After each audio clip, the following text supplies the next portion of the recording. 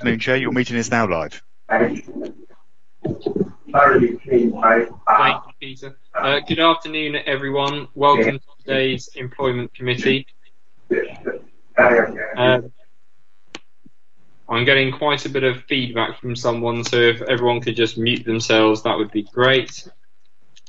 Um, and we can get going. Um,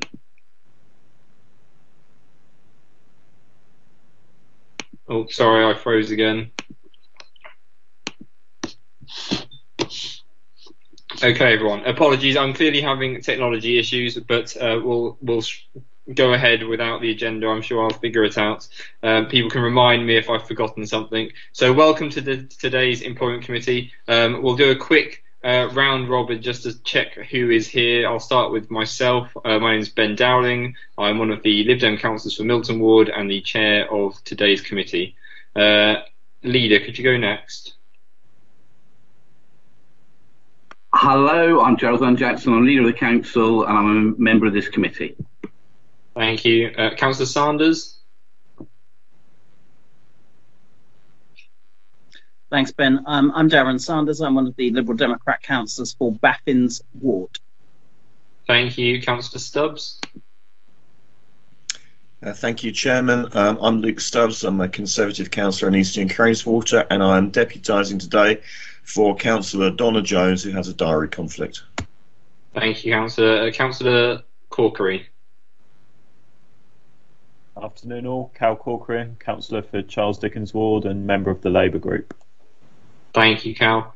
Uh, we'll now just uh, do a quick roll call to see which uh, council officers are joining us today. Uh, we'll start with the Chief Executive. Good afternoon, everybody. David Williams, Chief Executive. Uh, we'll, and just in the order on the uh, teams list, I've got Peter Baulf next. Uh, Peter Baulf, City Solicitor. Welcome, everybody. Thank you. Uh, Rochelle. Rochelle Neller, Human Resources. Natasha. Natasha Edmonds, Director of Corporate Services. Sue. Sue Page from Finance. Uh, Vicky. Vicky Fleethouse, Democratic Services. Uh, Peter. Again, supporting the webcast. Sean. Hi everyone, Sean Tetley, Parallel Pension Manager. Thank you, and Liz. Liz Walder, Procurement. Thank you, everyone. Um, I'm supposed to read something out that says we're doing things according to some some sort uh, a government act, but I can't find uh, the email because I've been locked out. So, um, Vicky, do I absolutely have to get it exactly right, or can I say that there's a government act and uh, we're using the model standing orders as published in that act due to COVID, like the same as every other council meeting? And if somebody really wants to look it up, they can watch a different meeting of somebody getting it right. That will do. Wonderful, thank you, Peter. Um, are, do we have any apologies for today's meeting other than Councillor Jones?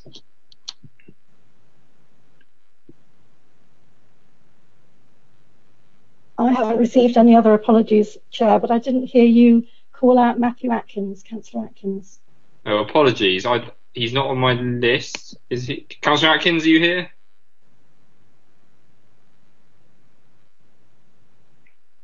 He doesn't. He's not showing us in the meeting, Vicky. No, Okay, he is well- not with us. No, I'll put a question because he, he is in he is a member of Employment Committee. Anyway, that's fine. Okay, wonderful. I was only calling people that are here. Um, but yes, apologies. So we don't have apologies, but uh, he may be having issues and will potentially join us soon. Uh, okay, thank you very much, everyone. I believe the first item on the agenda is um, declarations of interest. Does anybody have any?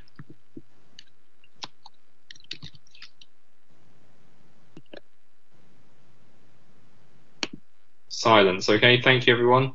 Uh, the next item is, um, well, first of all, we've said we will vary the order in order to take the living wage report uh, towards the front of the agenda, but I would like to just approve the minutes first, if that's okay with everyone. So we'll take the minutes. Um, it, can anyone, um, is anyone happy to propose the minutes? I'm happy to propose the minutes. Thank you, Leader. Anyone would like to second the minutes? I'm happy to second the minutes. Thank you, Councillor. Uh, does anybody have any issues with the minutes? Okay, we shall consider those accurate and passed. Thank you, everyone. So, uh, due to varying the agenda, can we take the item on uh, the living wage next? Uh, I believe, Natasha, you said you were going to introduce this.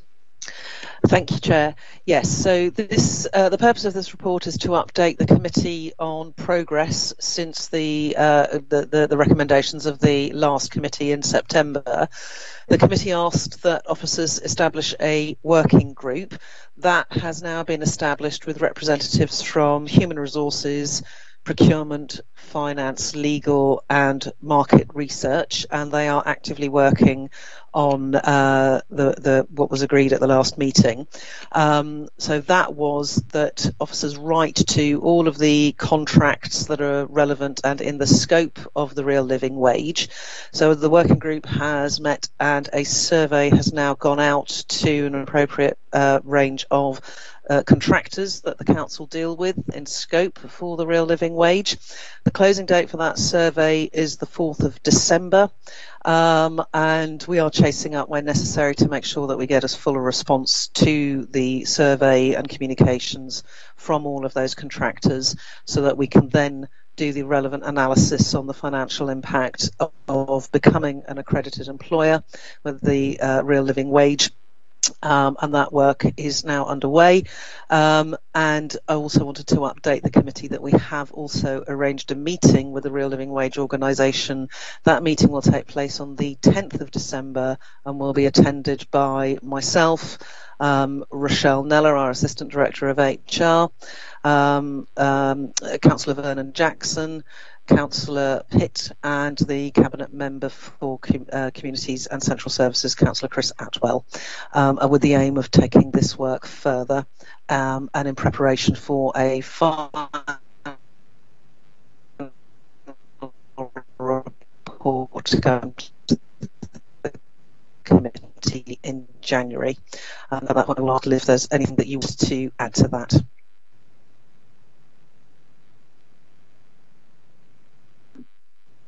No, I think that was um, a good summary. Sorry, I was on mute. Um, yes, so just to let everybody know that a, a, chase email has been sent today to the suppliers to uh, remind them of the importance why we're doing it and a reminder of the deadline.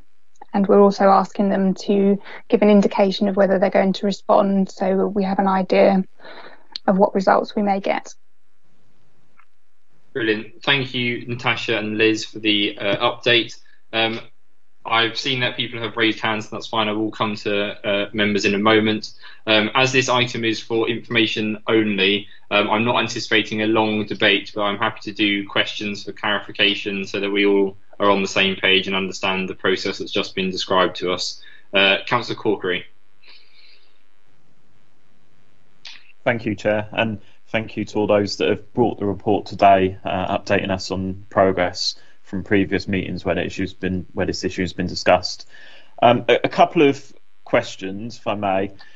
The at the last meeting, one of the appendixes was um, an action plan, essentially entitled Four Steps of Accreditation Beyond, um, and it was within that that the suggestion of an internal working group um, was made that identifies that action as being for clearly the relevant council departments, um, but also in addition for trade unions. Um, so I just wondered whether trade unions had been engaged as part of this working group, um, and if not, whether there's the opportunity to do so. Um, and secondly, this is part, part question, part comment. I think one of the things I've found a little bit surprising about this issue is actually the lack of knowledge that we have about employment practices within outsourced services. Um, so, so, clearly, that's why we're doing um, this survey in order to identify the level of wages that are being paid. Um, and but it strikes me that there's there's further knowledge gaps um, with regards to other forms of terms and conditions. Now, I appreciate this survey has already been sent out, so presumably it's too late to change it, but maybe it's something the committee may wish to consider in future um, around improving our knowledge of, for example, pension entitlements, holiday pay, sick pay, all those other aspects of employment terms and conditions that are in addition to the basic wage that's paid. Thank you. So I, I can uh, respond Yes, to that. actually. Um, the unions haven't been engaged at this stage in terms of the working group, but that doesn't mean that there isn't an opportunity for that to happen going forward. Really, because the, the main aspect of the work currently engaged like, uh, a bit more about all of the steps that we then need to take thereafter. We will certainly engage with the unions on all of this. In terms of the lack of knowledge of working practices um, amongst outsourced services, um, a lot of outsourced service providers will consider that information to be commercially confidential um, and won't always necessarily share that information with us. And depending on the construct of the contract, some of those will be open book, but many of them won't be, so we wouldn't necessarily have access to that information. We would always seek to understand it where we can, um, but that's not always going to be possible in every situation. Thank you for the clarification, Natasha. Uh, Councillor Sanders.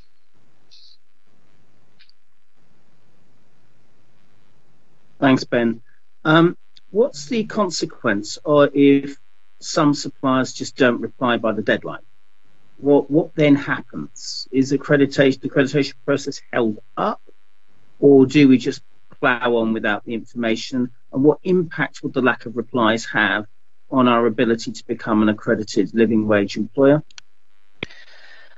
So the um, we're doing everything that we can to get as, as high a response rate as we can, um, and I might ask either Sue, Sue or uh, Liz to talk about the thresholds that we've applied in terms of the response rate that we get from which to be able to draw um, as, as good a set of assumptions that we can in order to perform the financial analysis.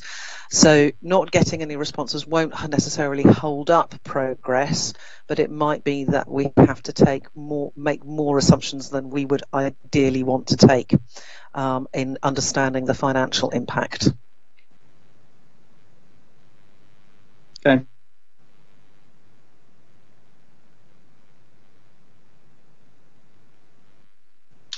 Thanks, both. Uh, Councillor Corkery. Thank you, Chair. Just a very brief um, follow up in response to Natasha's response. Um, in future, would is it possible within procurement rules or legislation or, or, whatever else for us to stipulate particular employment conditions? So, so for example, I mean, one of the big issues at the moment is clearly sick pay.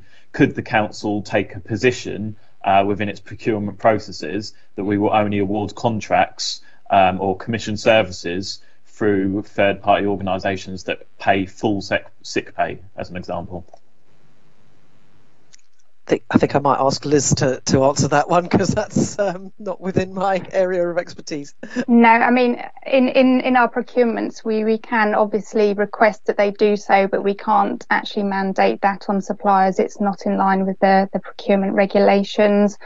I think um, the question was also raised whether going forward, obviously, we can stipulate that suppliers have to pay the living wage, and that's um, that's not something we, we are able to do. There's not a great deal of case law around at the moment for people who have done so.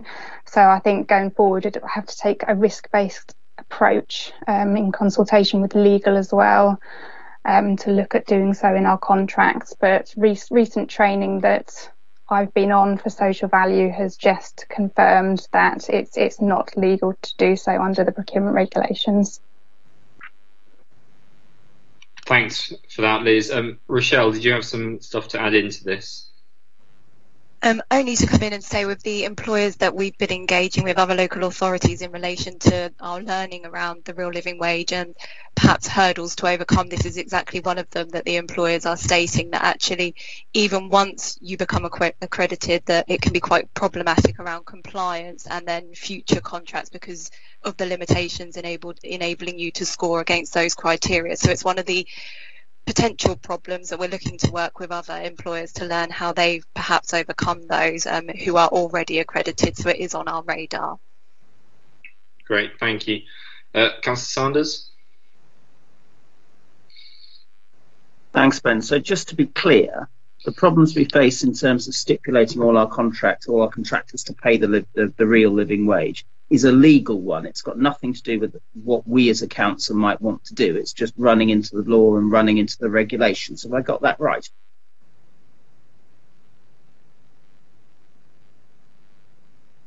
Stunned silence. Can you hear me? Any thoughts from anyone? Yeah, that's basically right, Darren. Thank you. Thank you, Peter. Uh, Councillor Stubbs. Uh, thank you, Chairman. I can't resist myself just in making a quick comment. Um, and obviously, I haven't been at the previous meetings of this. I haven't seen and heard the discussions, but I did take the trouble this morning of reading the council's quarterly monitoring report, um, and which is going to cabinet. Um, must be next Tuesday, I would think. Uh, and it's a sea of red ink. I've never seen so much red ink in a quarterly monitoring report. Um, massive proportion of the council's reserves are going to be spent. Um, you can argue about the number, but there will certainly be less in the way of reserves, you know, next year than there was at the start of this year, um, and that is the background to all of this. So I think talk about well, you know, let's increase the cost of services further when we don't have a balanced and sustainable budget now um, is is frankly I think it's unrealistic. Thank you, Councillor Stubbs. Uh, unless there are any other questions for clarification, I think this item is just for you know accepting and listening to. Um, so I'll i am keen to move to the next item unless there are any further questions. Silence, wonderful. Thank you everyone, and thank you for officer inputs. If you have better places to be and are not needed for the future items, then we completely understand if you drop off at this point. Um, next item up for uh, conversation is the sickness, sickness absence quarterly report. Um, who have we got uh, to introduce this? I'm assuming Rochelle. It is wonderful. Thank you. Over to you, Rochelle. Thanks, Councillor. Um, so I'll, I'll, keep this brief. Um, the main message to take from the report is we continue to see a reduction in average days lost, reducing from the September report of 9.33 days per person to 9.22 days per person. The majority of services continue to see a decline in absence.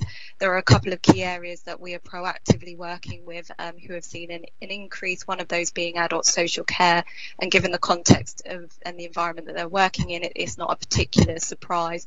So we have our wellbeing coordinator and the HR business and partner working with the senior management team there to proactively work with staff to understand more about the reasons for absence outside of the COVID, obviously, spectrum and see how we can support them.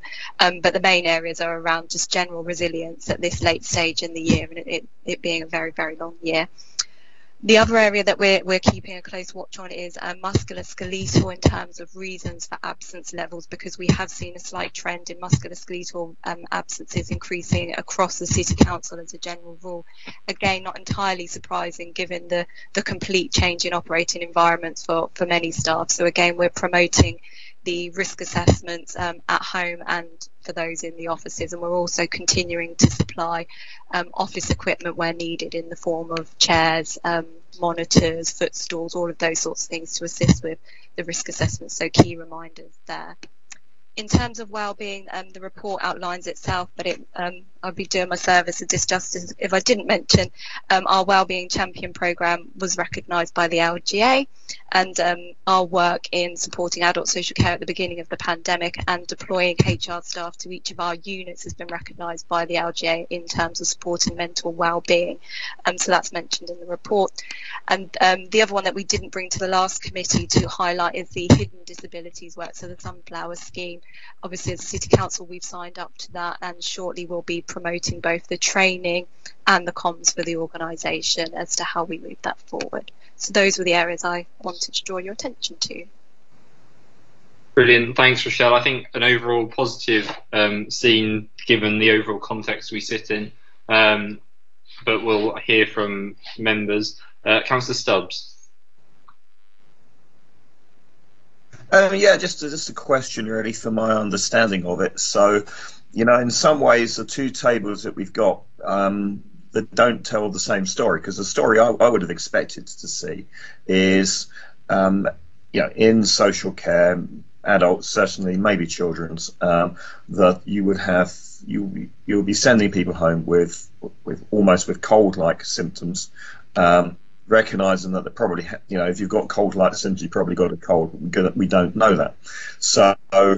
I can understand if that's a situation why there's a high number of high level of absenteeism in adult social care. On the other hand, you have a table uh, about the reasons for absence. Um, doesn't show sort of any uptick really in absence for viruses or potential viruses because you know, you, you again if you've got a cold it's not actually a problem it's just being defensive so how do you reconcile that i mean the adult social care numbers are high but is that actually down to people taking preventative measures who have have you know um, cold and flu-like symptoms or is it something else Hi, thanks. Um, yeah, it will be a, a, slight mix of both. I think it's probably impl- important to clarify that if people are self isolating, they're not recorded as sick if it's for a COVID related reason, if they're asked to isolate because they come up on um, a test and trace or they they meet the COVID criteria for being symptomatic, um, because the, the city council made a commitment to record that separately and not against the absence levels. So you wouldn't necessarily see a trend difference there um, because it's recorded separately.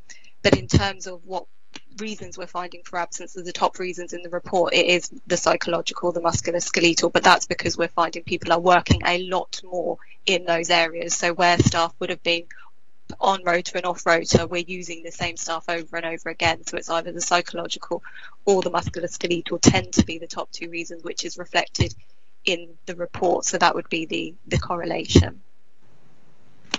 Thank you. I wasn't aware about that accounting thing Thank you both. Uh, Councillor Corkery.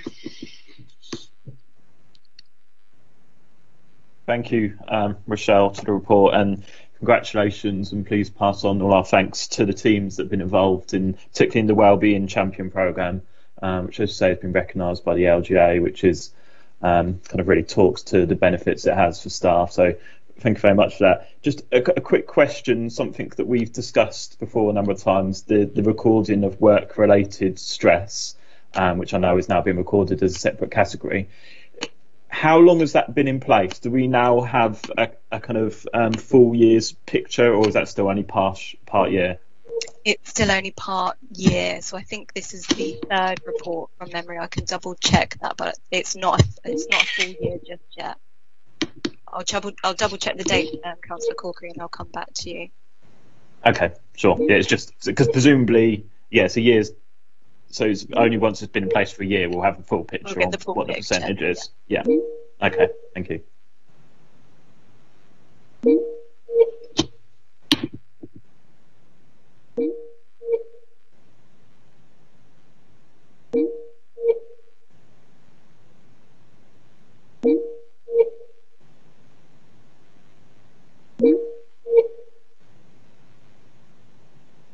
Chairman, have we lost you momentarily? I think we had, David.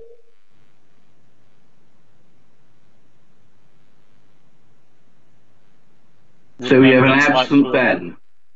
Would members like to uh, adopt the vice chair whilst Ben rejoins us, or do you want to wait? Well, the vice chair is Donna, who is Luke. I think in these circumstances, in these in these circumstances, you need to propose and um, get a new chair. You need to propose a new chair. Luke, do you want to do it, or do you want me to do it? Why don't you do it? All right, I'll, I'm happy to do it until Benjamin returns. I said, having been chair of employment for how many years? Um, so, um, sorry, and I haven't got a list of who else wanted to say something on this. Um, is there anybody else wanting to chat on this, folks? No. Okay. Um, are we all right then with that, with the sickness report, to accept that from and thank everybody? I think it, it's right. We do thank uh, Minotaur. Thanks to um, the group who did get their um, to get their recognition from the LGA and, and and record our thanks to them. But I think it's also right that we record our thanks to everybody who's working so hard during the pandemic because I think people really are putting themselves out. Um, and it's not just in social social care, but across the whole of the council, people have been working really, really hard to look after the people of the city, and I think we should we should always record our thanks to that. Is that okay with colleagues? Yeah. Okay. Um, uh, next thing then, um, reward and re recognition. Um, um so, um, who's going to leap into that? Rochelle, do you want to jump in? Yeah. Tell us what we need to know, and are we all going to get medals? oh, um, I'll maybe add on another recommendation. Gongs for all. Um, so this was a paper that we were asked to bring back following the last committee meeting in September um, with, with a view to reviewing our options. Um, at the last committee, we made a recommendation to hold um, some form of um, community award ceremony when it was safe to do so, and we were asked to keep that as a recommendation, and which we have done so because we, we do think it's really important to build a culture of recognition both inside the organisation, but actually wider than that, more collaboratively. This response has been community based, as the leader just mentioned, so we've maintained our recommendation there. We were also asked to table um, the existing mechanisms for reward within the organisation, and we have done so in one of the appendices. And it's probably quite important to note that, because um, I know there's always a lot of discussion around honorariums, honorariums have not been used to recognise contribution towards the COVID situation throughout the pandemic, and that's not because we don't feel that people have responded in the way that we had hoped and have gone above and beyond. It's just simply not an appropriate mechanism for individual officers to determine local remuneration for staff on such a corporate wide event. So there have been no honorariums paid in relation to the COVID situation. At the last um, committee, we discussed other more tangible forms of reward.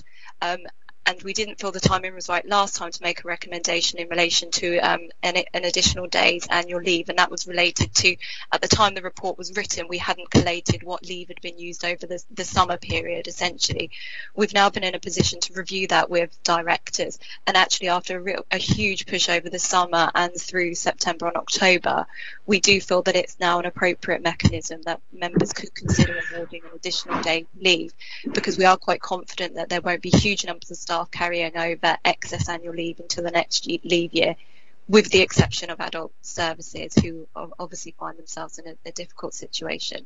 If members were minded to agree an additional day's annual leave, we would make the recommendation that that is taken on the same day for the majority of staff who are able to take that because what we find is then that limits the email traffic, the workload piling up. If everybody takes a day at different times, it can be very hard to catch up again. So our recommendation would be Christmas Eve or New Year's Eve, and in very much the same way that we've awarded sandwich days in, in the past as an, as an employer, um, as supported by members.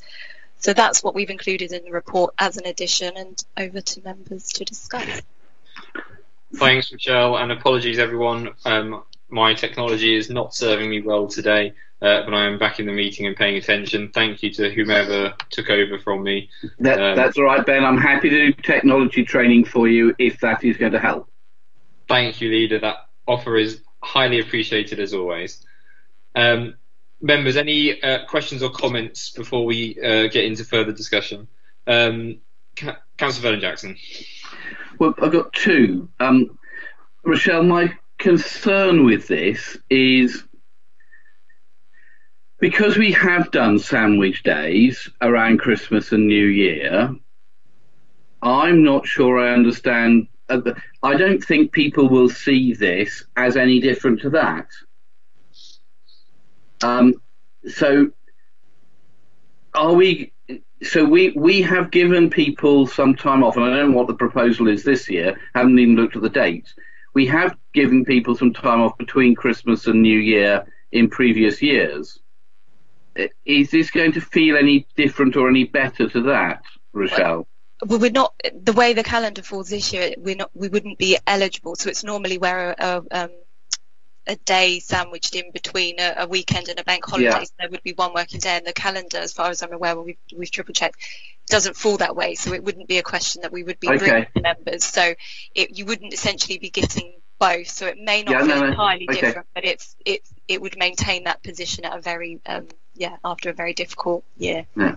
Okay, now that's fine. And my second bit would be to say, uh, just so members are aware, um, I've written to the Chancellor of the Exchequer um, uh, ahead of his announcement tomorrow um, because I think to, it is. It, it, it seems to me outrageous to suggest that people who have been working as hard as people have at the council here um, should be in line for a pay freeze um, as their recognition for all the work that they've put in. Um, uh, i just don't know how I would go down to the Gunwharf unit at Harry Sotnick House in the isolation part there where people are working to get people out of hospital, make sure they're safe in an isolation unit before going back to their own care homes to break the cycle of infection from the pandemic and go to them and say, I'm very sorry, um, but the government doesn't think you're worth a pay rise this year. I, I, I think it's outrageous. Um, so uh, um, I think we need to do what we can, um, but we need to be mindful that our, the money we have to spend is effectively all comes from government or um, the vast majority of it. But I do hope the government doesn't go down the route of uh, of of saying that over this year people work less than um, are worth less than, than in previous years when people have worked so incredibly hard. Thank you, Leader. Uh, Councillor Stubbs. Sorry, is it? Um, yeah, just just to say, really, just to sort of to go against that. I mean, do not forget that the a tenth of the economy of this country has gone, and it's not all going to spring back. Um, there are there was figures out from earlier in the year which showed in about the middle of the year it showed private sector pay falling at a rate of about 3% a year, while public sector pay was growing by the same amount. I mean, you can't justify that gap. The, the lockdown has made this country significantly poorer, and that effect will carry on for some years to come. Mm. That is the reality of it. That is why, and even though no one's really admitting it yet, but it's true that people are going to be paid less than they otherwise would in both the private and the public sector. Benefits will be affected, and taxes are going to be higher. I mean, that's just the facts of it. I, mean, I think it's a mm. pretty awful situation to be in. But you know that and unemployment will be high. But that's where we are. I mean, and there's you know there's no sort of denying that, and, so, and we, we can't create a two-tier economy whereby it's massive reductions of people in the private sector and protection of the public sector.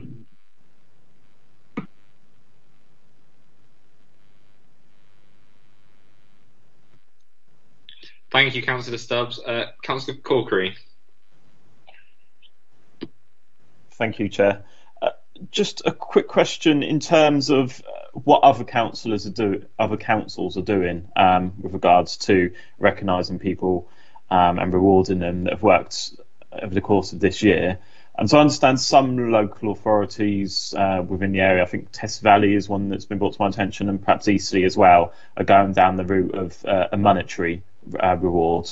Um, so yeah, just a, a, question of what I understand is what other councils are doing and how we're kind of benchmarking against that. Yeah, we, we've outlined that, Councillor, in Appendix 2, I believe. Um, at the time of reporting, those were the councils. We've got Hertfordshire Council offering additional um, days annual leave on the 24th of December. There's a, there's a list there. Um, I won't read through them, but I've got some additional information back from Southeast employers um, specifically about our region, which we didn't have when we published the report. Um, so in addition to the ones that are listed in the report, um, we've got one district and two um, unitaries not discussing any additional reward at all. Three districts have made a monetary award, small bonuses to manual-based staff. Um, it should be noted one of those um, already has a performance-related pay structure in place, so that's that's kind of the norm for them. So it's arguable whether they're doing anything additional to what they normally do. And two districts and one unitary have offered one additional day's leave. So we're we're confident we're in the in the range of what others are doing. And um, I know there was some suggestion from the trade from trade union colleagues that perhaps we could use the um, job retention scheme payment that we should should have been receiving in January to kind of disperse across the organisation. Um, but we won't be receiving that money now because obviously the scheme is it has been extended until March. And having spoken initially to finance colleagues, the expectation is that that money will go back to cover some of the costs because as an employer we decided to pay 100% of wages instead of the 80% which the government were allowed. So there wouldn't be the finances to do that. But yeah, as a report, um, a summary is in the in the back of the report as well as those comments there. Great, thank you both. Uh, Councillor Sanders. Thanks, Ben. Uh, Rochelle, I think it'll be sensible to share the extra information you've got from Southeast employers with, with committee colleagues. Um, certainly that seems uh, consistent uh, with what I've been picking up. Um, I, would say that I think that having some sort of extra reward is useful because certainly if we're going to have a two-tier public sector workforce with NHS workers getting a pay rise but care workers not, um, or teachers not, um, then I, or the police not, um, then I think that that is something that um, that we, we should be looking at and, as quickly as we can. Uh, but obviously, we face a 12 million pound budget hole um, thanks to the virus, uh, and so we have to go along prudently with whatever we can. Um, one question, um, which is around the flexibility between Christmas Eve and New Year's Eve. Um, given that the, the five days of relaxation, whatever that pans out to be, maybe between the 24th and the 28th of December or the 23rd and the 27th of December, uh, but we won't know that until Thursday. Um, is there any way in which we could work with the workforce to try and make sure that that's maximised? Because I'm, I'm conscious that basically if it's 24th to 28th, everybody is going to pile onto the motorways on the on Christmas Eve. Um, so it would be useful to know how whether that has any factor in your deliberations or not. And if not, that's fine it hadn't factored into our deliberations because we were unaware of it at the time of writing the report. But it's a uh, it's an absolutely valid point, and we can we can build that in when working with directors and in terms of comms as to how we how we package this, if indeed we are going to package this for staff. Okay. Uh, do, do, any of the members have any questions or queries, and would anyone like to state any preferences um, in particular? Um, I know I've got thoughts, but uh, leader. I was going to go and suggest the recommendations on the paper. Uh, Chief Executive. Uh, th- thank you, Chairman. I, ju- I, just wonder at the moment the um, the recommendation in terms of the additional day um, talks about two specific days. I just wonder, in the light of the fact that we don't yet know what the announcement is going to be about the Christmas to New Year period, whether if members do support that part of the recommendation, they'd be happy to leave the uh, the, the, precise day open so that we can um, adjust to whatever announcements uh, we get over the next few days and select a day that would be more appropriate. Thank you, David. Uh, Councillor Stubbs. Um, only really to say that, yeah, I will also um, support the recommendation, albeit if it gets varied slightly um, in light of the chief executive's comments. Wonderful. In which case, um, I'm happy to second the leader's proposal, which is essentially to uh, go with the recommendations, um, but with the caveats as um, the chief executive has outlined. Um, I'm I'm very happy with those. I think the two key things we're really talking about here are uh, some sort of award ceremony when it's appropriate, and the additional days annual leave, which is clearly good practice. Um, and a number of other authorities have chosen to take that route, and so uh, it would seem uh, logical that we have done the same. Um, I'd be certain, personally, I would be open to exploring an honoraria approach in the future uh, in a kind of retrospective way um, particularly in adult social care. Um, but I appreciate we're not at that stage yet, um, and I I personally think that Stoke may have jumped forward sooner than they uh, needed to. Um, but then I'm not an expert on Stoke's financial situation, so maybe they have more money than us. Uh, David. I'm sorry, Chair, that was a legacy hand. I remember when there was no such thing as a legacy hand. Those were the days, all of six months ago. Um, okay, thank you, everyone. Um, I'm not seeing any dissents, just lots of smiles. So we'll um, consider those approved unless there's any uh, any uh, problem with that. Uh, and I believe that actually takes us to the end of our meeting, probably the uh, most cordial and quickest run employment committee we've had in some time. Uh, so thank you everyone, and unless there's anything from anyone that I'm forgetting, uh, we'll end the meeting here. Thank you, Chairman. Thank you, everybody. Thank you. Thank you. Thanks.